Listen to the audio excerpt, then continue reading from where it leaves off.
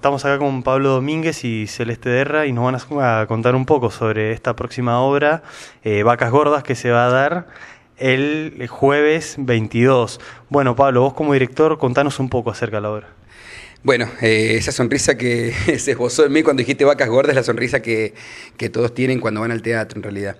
Es una, es una sonrisa interesante porque la obra, si bien es una comedia, eh, trata de, atravesar sobre temáticas bastante interesantes de la historia, no solamente la historia argentina, si bien está eh, la obra em, contextualizada en Uruguay, pero tiene que ver justamente en esa época con lo que tenía que ver en Argentina y tiene que ver con la parte de eh, la industrialización, esos procesos de industrialización, cuando el capitalismo venía y abarcaba ¿sí? y proponía eh, un paraíso terrenal, financiero, trabajo para todos, y que en realidad eh, la idea era venir a sustraer, ¿no? Como, como siempre, tanto el capitalismo, las conquistas, ya sea desde lo geográfico, también hicieron en nuestro territorio latinoamericano.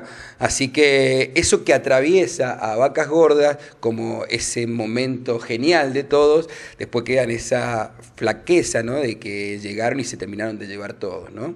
Y queda esa ilusión del trabajo dando vueltas en la gente.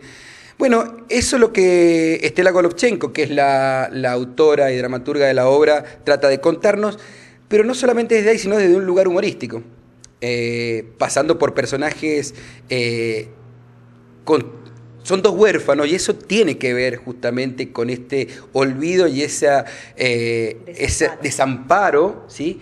Que se le da a, ya sea a la historia en ese momento, pero también puesto en esos dos personajes, que son dos niños, ¿sí? Generalmente la, eh, orfandad se da eh, en la parte de niños, uno lo, lo asemeja y lo tiene directamente con los niños. Ah, bueno, un huérfano son niños. Bueno, pues de ahí lo toma ella para mostrar esta realidad.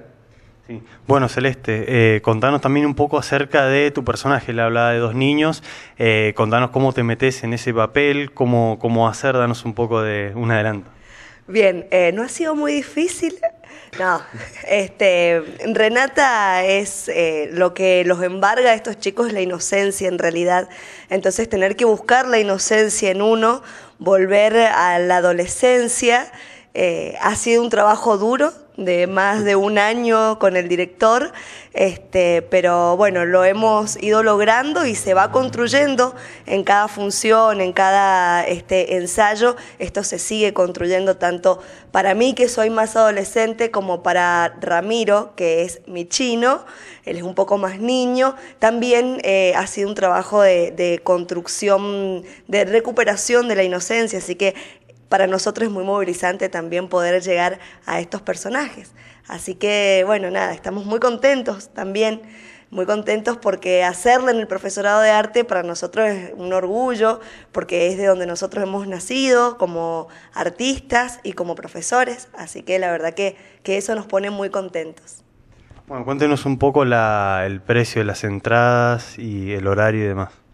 Eh, las entradas van a salir 20 eh, pesos para los estudiantes de cualquier nivel, de cualquier institución, y 40 pesos para el público en general. Bien. el horario del espectáculo es a las 21, para reforzar esto, esta información, es este jueves 22 eh, de octubre a las 21 horas en el Profesorado de Artes Mitre 851. Eh, 1851, así que los esperamos allá eh, en el profesorado.